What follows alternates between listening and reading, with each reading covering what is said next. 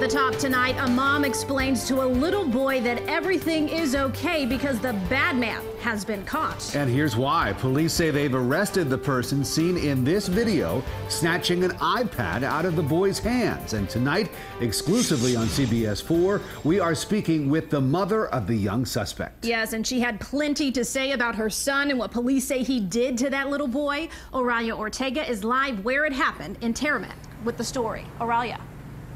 Rick Erica, that teen's mother was very apologetic and says her son fell in with the wrong crowd. She also says that what happened at this salon is the second time that her son has been in trouble with the law and she hopes it'll be his last.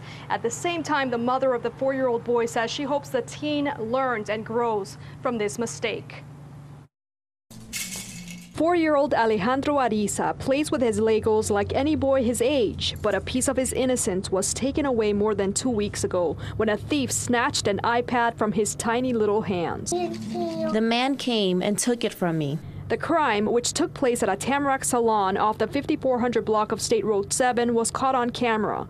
The little boy had been watching cartoons on the iPad, which belonged to the salon where his mother, a cosmetologist in training, works. Broward Sheriff's deputies announcing the person seen in the surveillance video, a 16-year-old Lauderhill boy already on probation, was arrested in the case. The police found the young man and he's in jail. How do you feel? Good, Alejandro responds. His mother says the boy has been having nightmares and started going to therapy to help him cope with the trauma. But in spite of that, she holds no ill will towards the teen behind bars. I forgive him. I believe in Jesus Christ, and in my heart, there's only room for forgiveness.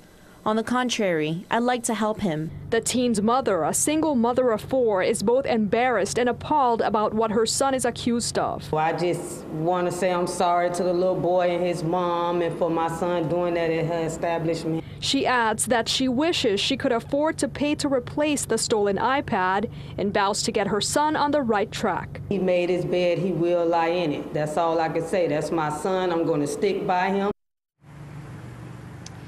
And that teen is facing a charge of strong arm robbery and violation of probation. His mother tells us that he has a court hearing scheduled for tomorrow.